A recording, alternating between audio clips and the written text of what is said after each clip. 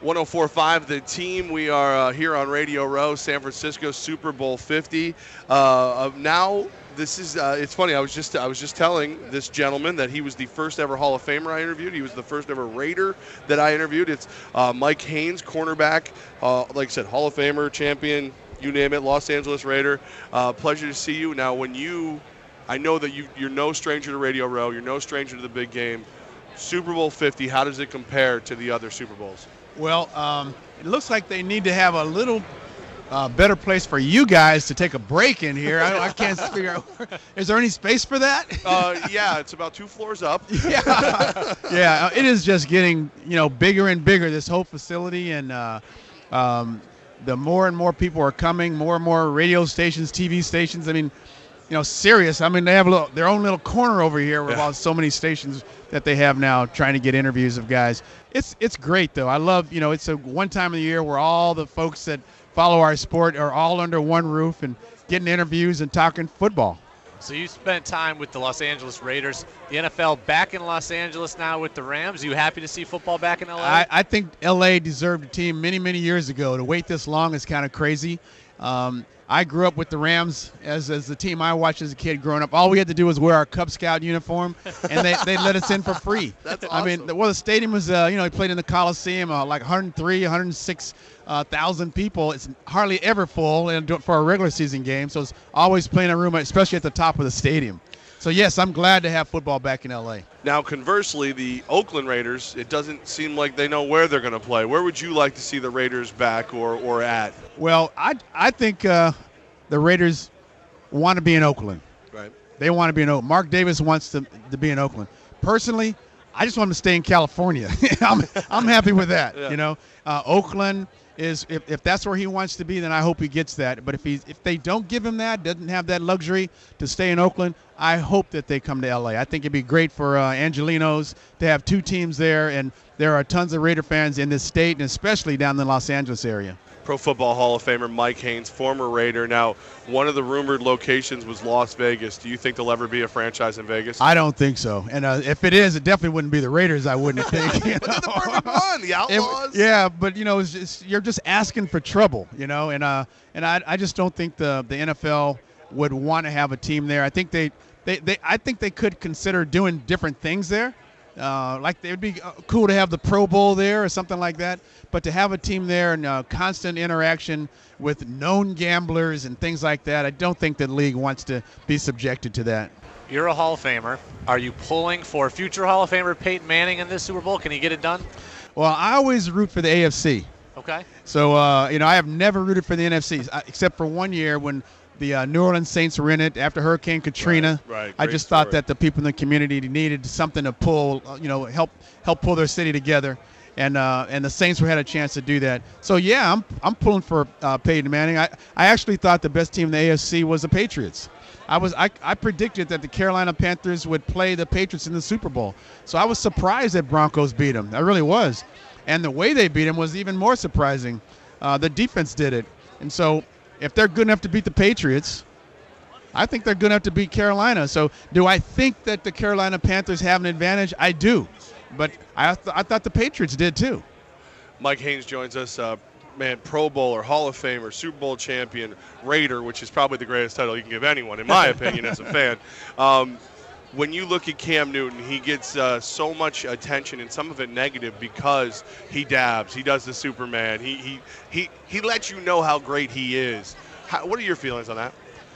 I love watching him because you can clearly see he's enjoying himself.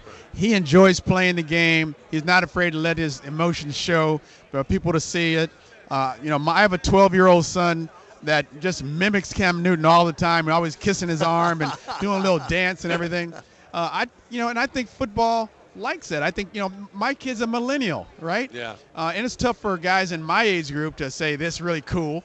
Um, but I like to see the, the impact that it's having on young people.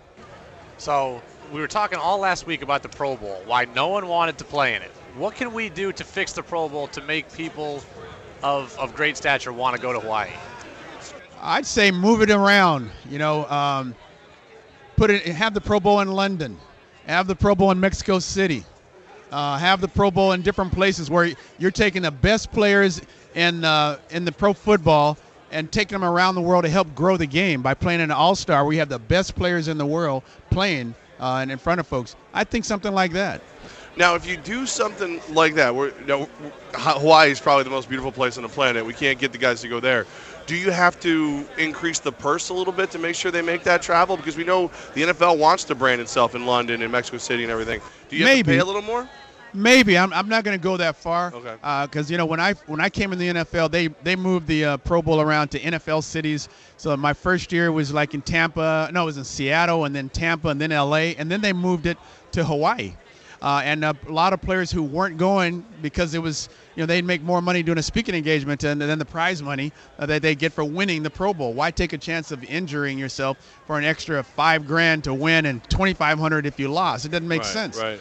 So you know you might be onto something, but definitely when they moved it to Hawaii, a lot of the guys wanted to take their families, get out of the cold weather, and you know bring their not only their immediate family, their wife and kids, but maybe even their p- parents. You know, so it was a, an attractive place, and guys started to come again. But now maybe you're right. Maybe it's uh, just changing the salary they could, or the the bonus I should say, uh, might be enough. But definitely if they moved it out of the city and it all expense tri- paid trip to London or to Argentina or Mexico City or um, Dominican Republic or something like that. You know, maybe that would be enough to, to get them to go without having to raise the bonus. But you're definitely going to increase the amount of money that you're sp- that you pay right, to make all that happen. So you were a secondary player. How do you stop a great wide receiver? And Denver's got two of them, and Demaryius Thomas and Emmanuel Sanders that Panthers have to worry about. How would you do it? Well, um, I think I'd play bump and run because that's when it when the game is on the line. I'd rather be up and bump and run than any other position on the field, um, where I'm you know I I'm locked onto this guy and it's it's me or him. That I felt most comfortable in those situations. So I think that's what I would do. Uh, I'd do a lot of film study. I would definitely analyze Peyton Manning's arm. I've been watching when the game before the game starts and they're doing their warm up. I've been watching to see what kind of routes they're running and what kind of zip Peyton Manning is getting on the ball. Um, I just even I look at everything. And so I was watching today while I was in here in the media center. They were showing a little bit of the Broncos, and they were showing Peyton dropping back, and I was watching how fast he was getting. He was dropping back and getting rid of the ball so quickly. So if I could do anything, or our defense could do anything to interrupt that, make him pat his hand a couple of times on the ball before he throws it, then I like my chances of, of having a successful day. NFL Hall of Famer Mike Haynes joins us 104.5 The Team live on Radio Row. Uh, you are also part of an even greater defense now. Uh, tell me about Know Your Stats. Oh, I'm glad you said that. I love you put that on the, about the defense too. I got to incorporate that into our, our, our, our talk about it. Um, know Your Stats started really with uh, me being diagnosed with prostate cancer, and I actually found out by luck. I was in the at the Hall of Fame, went to a screening they were having for retired players, and a doctor started asking me if it if I knew anything about my prostate history, if it ran in my family. I didn't know any of this stuff.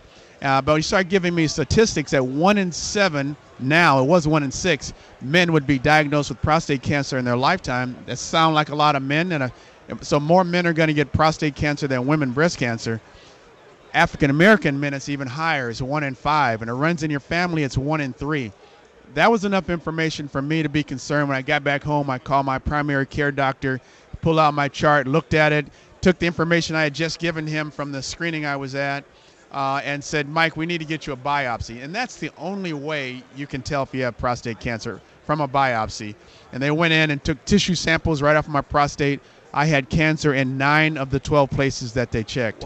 So, um, uh, because of my own experience, the way I dealt with it myself, and the little bit of history that I knew about my family, uh, when the urology care folks asked me would I be the spokesperson, I said yes because I knew that I could get men to speak up and talk about it, and especially get other Hall of Famers, Deacon Jones, Ronnie Lott, Michael Irvin, Cris Carter, all these guys look into a camera and encourage men to get out and, and get tested or, or to get out and talk to their doctor or get knowledgeable.